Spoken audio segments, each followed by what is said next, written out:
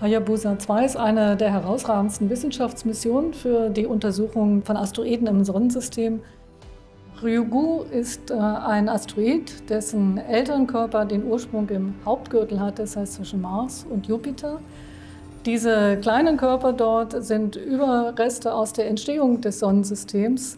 Sie sind äh, die Körper, aus denen sich auch später die Planeten gebildet haben. I tell the ordinary people my work is to uh, track back uh, our ancestor of ancestor of ancestor of 4.6 billion years ago.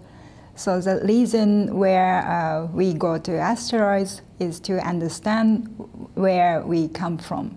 You know, the Earth is one of the planets of the solar system, and the, the all the material or all the ingredient of the Earth was born in space.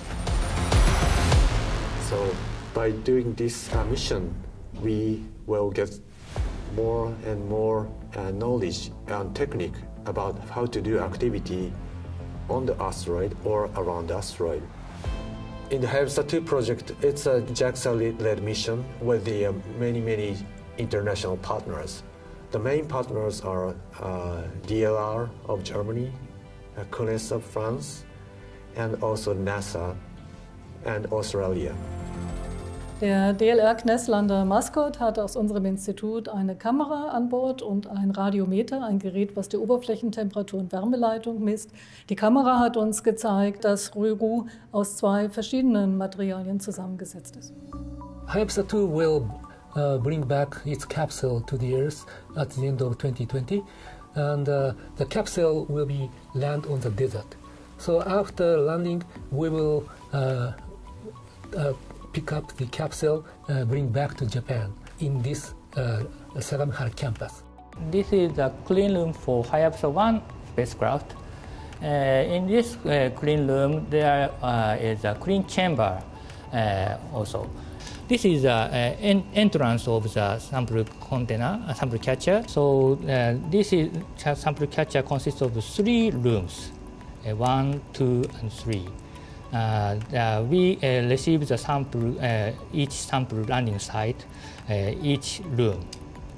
Bei uns im Institut für Planetenforschung hier in Berlin-Adlershof haben wir ein Spektroskopielabor das sich dadurch auszeichnet, dass wir Proben von extraterrestrischem Material untersuchen können über einen extremen Temperaturbereich von minus 200 Grad bis plus 800 Grad unter den Bedingungen, wie sie dann auch auf dem Planeten vorkommen. Und dieses äh, Labor ist, so wie es hier ist, in der Welt einmalig.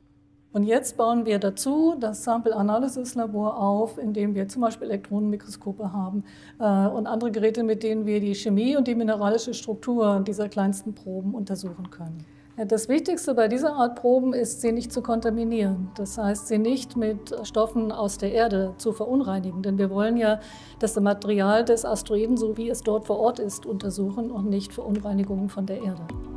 Asteroiden sind äh, dadurch, dass sie in der Frühphase des Sonnensystems mit den Planeten kollidiert sind, äh, eben Träger von Wasser. Und wir wissen, dass es Wasser braucht, um Leben entstehen zu lassen. Wir wissen nicht genau, wie sich Leben bildet, aber wir wissen, dass ohne Wasser Leben nicht möglich ist.